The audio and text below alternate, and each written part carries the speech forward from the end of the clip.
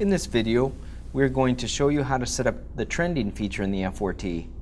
Trending allows you to view a graphical representation of the information. From the home page, press the main menu key. If you've ordered trending, there'll be an icon labeled trending. And this takes you to the trending menu where you can see you have up to four different trend charts you can pick from. You might want to set up trend charts based on channel, or perhaps by groups of parameters such as sensors or set point. To begin, select Actions. View represents going directly to the trend view. View Edit Details takes you to the formatting for the chart. By formatting, I mean the X and Y axis types of information. Edit pens, this is where you can pick which parameters you want to appear in the trend chart, as well as the pen color. Clear all if you want to wipe out all the settings for the current chart, and cancel if you want to exit out of the menu without making any changes. So let's select View Edit Detail so we can format the chart. First parameter is name. I can name this trend chart. So what I'm going to be doing is I'm going to do trend chart 1 based on channel 1. I'm going to do channel 1 sensor, channel 1 set point, and channel 1 percent power. So with that in mind, why don't I call this chart channel 1 temp.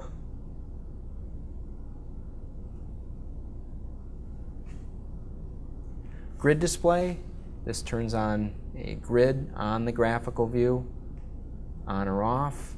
Auto scaling, is associated with the y-axis.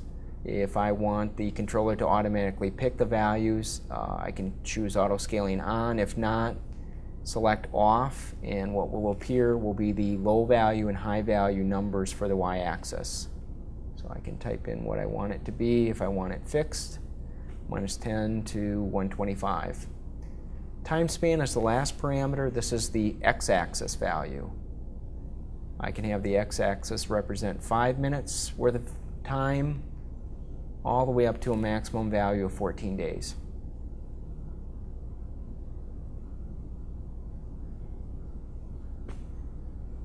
Alright, so that's the formatting for the trend chart. Step 2 will be to edit the pens.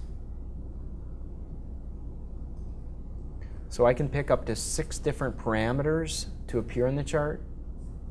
Select Edit, edit source.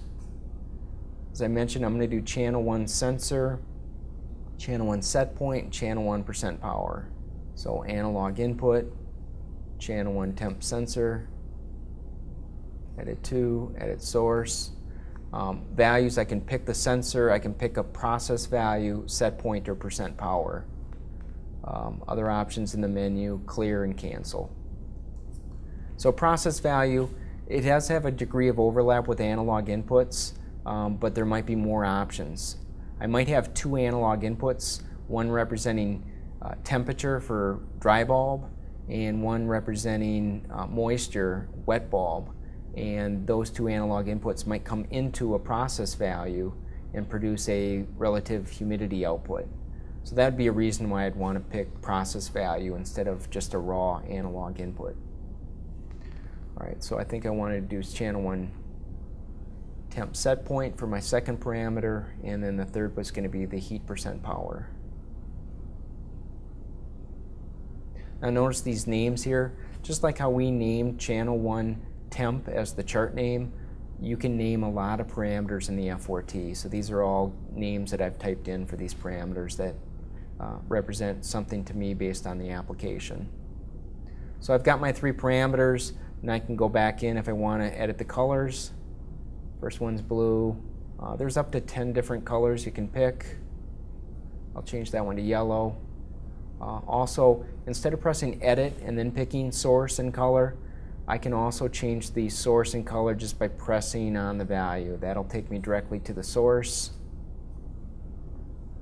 Or I can press the color and it takes me right to the color menu. Let's make that one light green. Okay, done.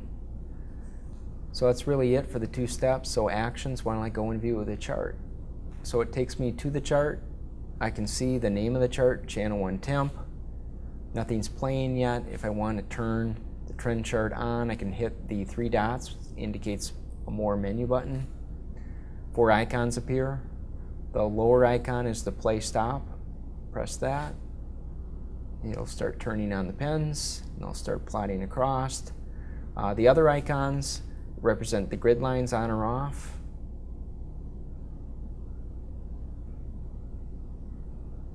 The second icon is the menu button for trending. So if I want to go back in and edit the pens or the formatting of the chart, I can do so.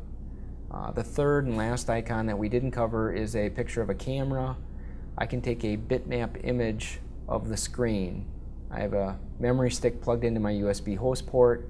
If I press that camera button, it'll slide those buttons out of the way, take an image and send it to the uh, USB with a confirmation message that it took that screenshot.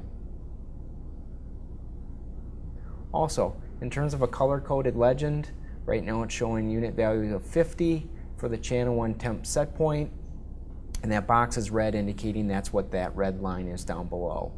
I can scroll forwards and backwards through the menu by pressing to the right or to the left of the legend. Now it's showing 76 for the channel 1 temp sensor, and that's the yellow line.